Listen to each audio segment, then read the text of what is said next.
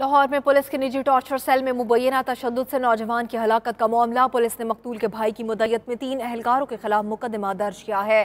Police کا موقف ہے کہ امجد اپنے والدین کے ہمراہ تھا، طبیعت خراب ہونے پر امجد کے والد اسے اسپتال لے کر گئے، جہاں وہ دوران علاج دم توڑ گیا تھا۔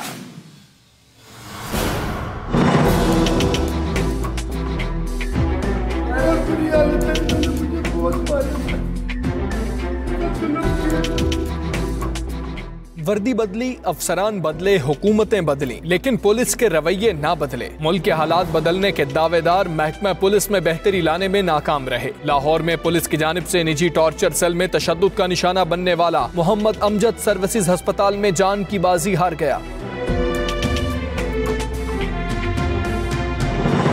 چند روز قبل تھانہ گجرپورا کی حدود میں ایگریکلچر ڈپارٹمنٹ میں پولیس کے نجی ٹارچر سیل کا انکشاف ہوا جس میں سمناباد کے رہائشی محمد امجد اور دیگر کو غیر قانونی طور پر حراست میں رکھ کر بدترین تشدد کا نشانہ بنایا گیا۔ بند کیتا تانوں تھانے دار کا نام کیا تھانے دار کا؟ I did my BCom, sir, previous uh, 2013, sir. After that, sir, I did my job, sir. I did nothing, sir.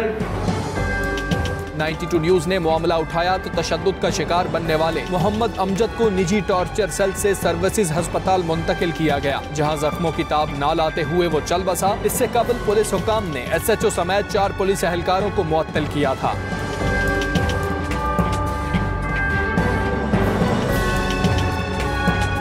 جام بحق ہونے سے قبل امجد نے بیان دیا کہ پولیس نے اسے بیٹی کے سامنے وحشیانہ تشدد کا نشانہ بنایا۔ انہوں نے مجھے اتنا مارا میری بیٹی کے سامنے میرے بیٹی کے سامنے۔ مجھے اتنا مارا سے مجھ سے کھڑا نہیں ہوا جا رہا۔ پولیس کے مطابق امجد کی لاش پوسٹ مارٹم کے لیے مردہ خانے منتقل کر دی گئی ہے۔ میاں رؤف 92 نیوز لاہور۔